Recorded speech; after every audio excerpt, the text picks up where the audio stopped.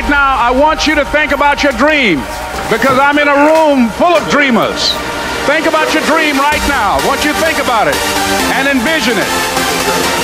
But here's what I know that that dream that you're holding in your mind, that it's possible. Let's say that together, please. It's possible. See, sometimes we can't say, I can do that. But what we can say, that it's possible that I can have my dream.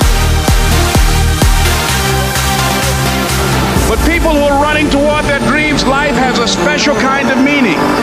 That in the process of working on your dreams, you will discover some things about yourself that you don't know right now. That you have greatness within you.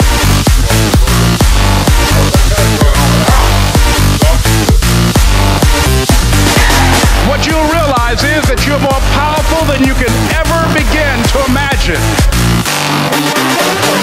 What you will realize is that you're greater than your circumstances, that you don't have to go through life being a victim.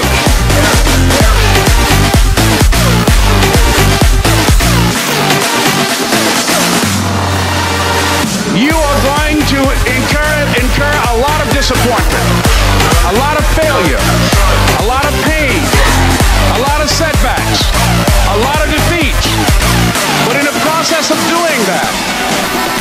discover some things about yourself that you don't know right now. That it's possible. Someone's opinion of you does not have to become your reality. And ladies and gentlemen, I started working on my dream. And most people don't work on their dreams. Why? For many years I didn't. One is because of fear. The fear of failure. What if things don't work out? And the fear of success. What if they do and I can't handle it? Because I didn't believe myself. Because I allowed other people's opinion of me to control my destiny, I didn't act on my ideas. So I applaud you for your dreaming. I applaud you for believing in yourself.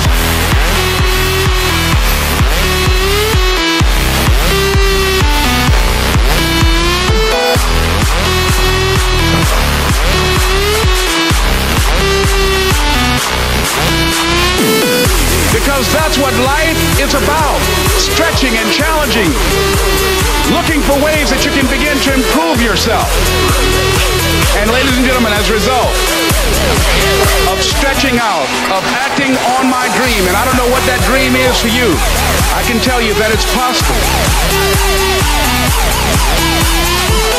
I'm saying to you, your dream is possible.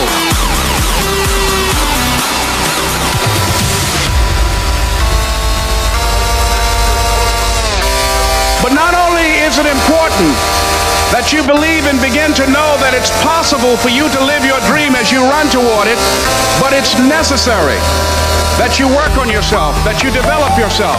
It's necessary that you get the energy drainers out of your life. People who don't want anything, people who are not striving, people who are not challenging themselves, people who aren't growing, people who have stopped dreaming. It's necessary that you align yourself with people and attract people into your business who are hungry, people who are unstoppable and unreasonable, people who are refusing to leave life just as it is and who want more. You run around with losers, you will end up a loser. It's necessary that you get the losers out of your life if you want to live your dream.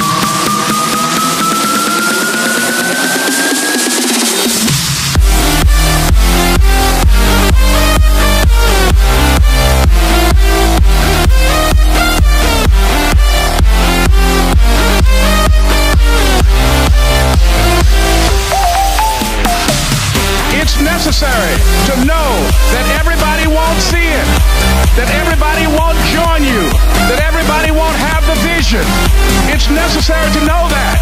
That a lot of people like to complain, but they don't want to do anything about their situation.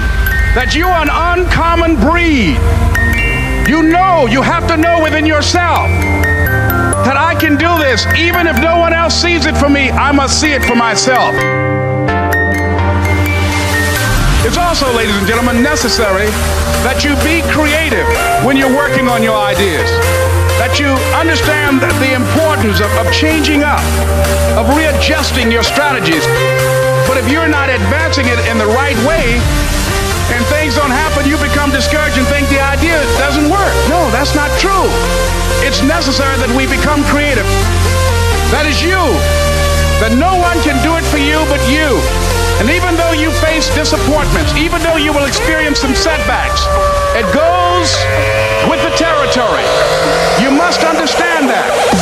It's not over until I win. What up, guys? Chris Leben here, the Crippler. Uh, I got 23 UFC fights. That's the most in the middleweight division. Uh, fought bare knuckle, fought Muay Thai, Jiu Jitsu. Uh, what you guys saw today was just, you know, some basic kickboxing and Jiu Jitsu with some of my guys that train with me. If you're interested, check me out. Hit me up on Facebook, Instagram, Twitter, all the social medias. I'm there. Thanks.